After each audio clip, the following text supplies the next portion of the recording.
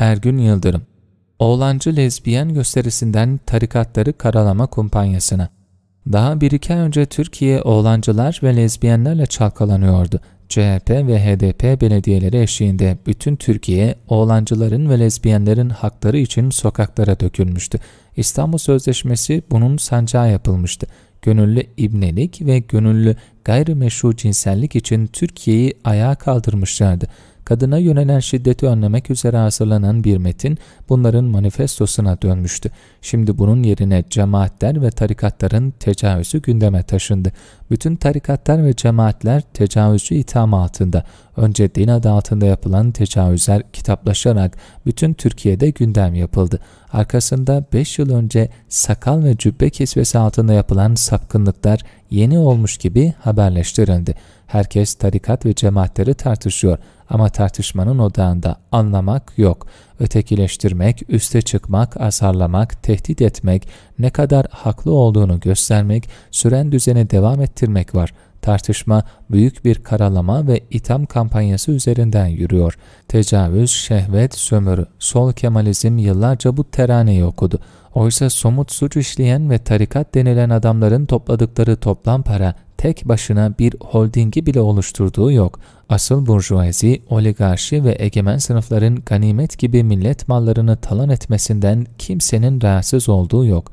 İster din, ister dinsiz, isterse laiklik adı altında yapılsın, sömürü sömürüdür, tecavüz tecavüzdür, sapıklık sapıklıktır. Sapıklığın, sömürünün ve tecavüzün ideolojisi, dini ve sekülerliği olmaz.'' Cemaatleri karalama kampanyasında propaganda diliyle bol keseden yalan üretiliyor.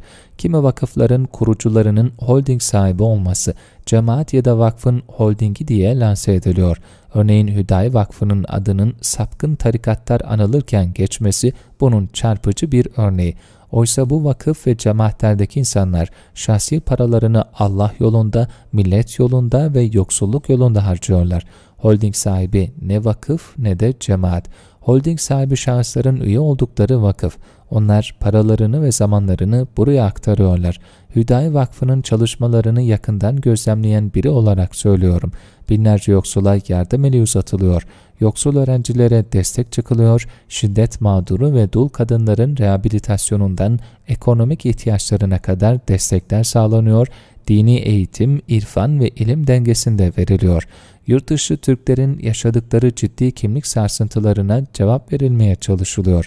Savaş ortamındaki yaralı insanlara el uzatılıyor, yetimhanelere destek çıkılıyor. 17. yüzyılda Üsküdar'da fakirlere yemek ve cahillere ilim irfan veren Hüdayi Hazretleri'nin günümüzde devam eden sivil ruhu bu.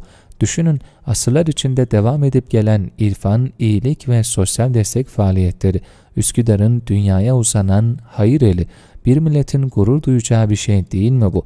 28 Şubat günlerini andıran günlerden geçiyoruz. O günler Fadime Şahin, Kalkancı ve Gündüz Sürme sokulmuştu.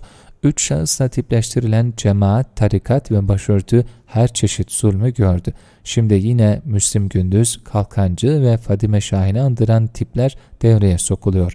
Tarikat sömürü, kadın tecavüzü ve sapkınlık da gündeme sokuluyor hem de gönüllü ibnelik ve gönüllü gayrimeşru cinsellik savunulurken yapılıyor bunlar. Lezbiyenler ve oğlancılara özgürlük diye bağırıldığı zamanlarda muhafazakar bir iktidar döneminde. Cemaat ve tarikatlar tamamen serbest olmalı.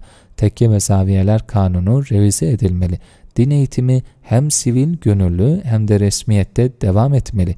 Vatandaş tercih seçeneğine sahip olmalı. Cemaatler, sivil din eğitiminin tarihsel birikimleriyle var olan kurumlar. Bunları yasaklamak yerine ıslah etmeliyiz. Onları yeni düzenlemelerle hem denetlemeli hem de özgürce çalışmalarına imkan vermeliyiz. Özgür birey, özgür din eğitimi alma seçeneğini de kullanan varlıktır. Müslüman birey musiki, edebiyat, sohbet, ilim ve hizmet alımını dergahlardan yapabilmeli. Cemaatlerin politik alandan ayrı olmaları güven ikamesiyle mümkün.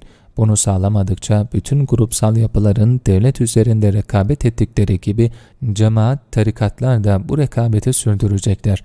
Kimi zaman devlet denge adına teşvik edecek. Bunu aşmak için iki şeye ihtiyacımız var. Birincisi devlet bir ganimet alanı olmaktan çıkarılmalı. İkincisi devlet, tarikat ve cemaatleri tehdit görmekten vazgeçmeli. Cemaatlere kamusal hizmeti din ve hayır üzerinden üreten yapılar olarak bakmalı. Türkiye, oğlancılara ve lezbiyenlere özgürlüğü tartışırken cemaatleri, tarikatları mahkum etme paradoksunu kaldıramaz. Bu çelişki ne geriye toplum bırakır, ne siyaset ne de uzlaşma.